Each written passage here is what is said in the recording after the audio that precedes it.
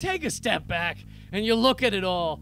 And, and life is like this fucking flicker of a flare of a, of, a, of a momentary coincidence. It is a galactic accident that you or I or anyone is here. We are the universe's unwanted, unintended, unplanned pregnancy. Don't ask me who knocked up the universe, but talk about doing the big girl. Holy shit. And some people take this philosophy, you know, that we are nothing, that we're just a little bit of, fungus on a, on a rock in the middle of a nothing and a nowhere. Some people find that depressing. I find it empowering. It means that right now is everything. Right now is all that matters. It's all that can matter because the past is gone or relegated to a camera phone, and the future is unknowable or at least hard to meet unless you have access to a hovering skateboard and a wacky scientist. So.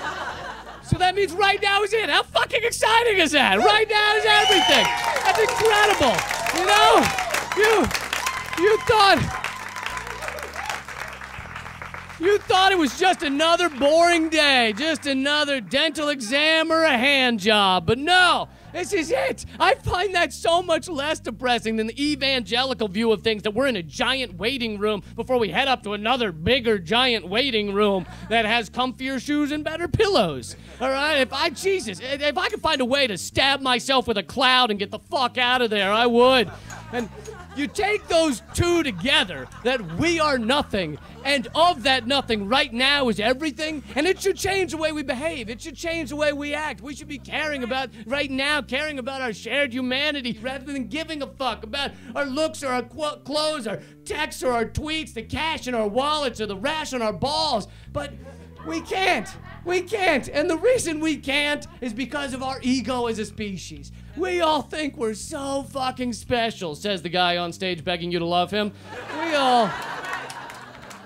We all think we're so fucking special. A surprising number of people think they've been alien anal probed. All right? That life forms have come millions of light years just to find out what's up their butts. But in reality, we are just a little speck on a piece of wood floating in the middle of a thousand oceans. And the irony is, if we could appreciate we're nothing, then we could live like we actually matter. Thank you guys for coming out. I really appreciate it. Thank you guys.